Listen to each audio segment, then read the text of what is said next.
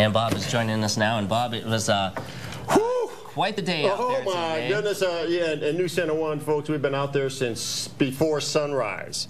Before sunrise, Thomas Patrick's been up in the uh, Spearfish area reporting live. I've been around the Rapid City area reporting live. Meteorologist Eric Burke all over the uh, place, and, uh, this, and, and the reason for that is because this is a major storm. It so is. early in the season, a huge, huge storm. So early in the season, we just wanted to keep you updated on the on the various latest information. And I get a lot of questions, Justin, about the thunder.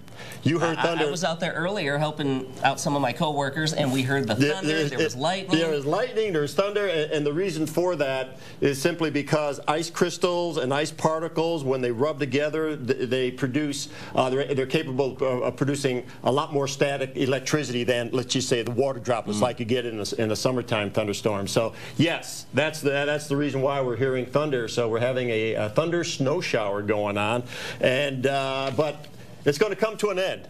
I promise it'll come to an end, certainly Saturday afternoon or, if not Saturday afternoon, Sunday. Plenty of sunshine on Sunday. We'll have all the details during the weather.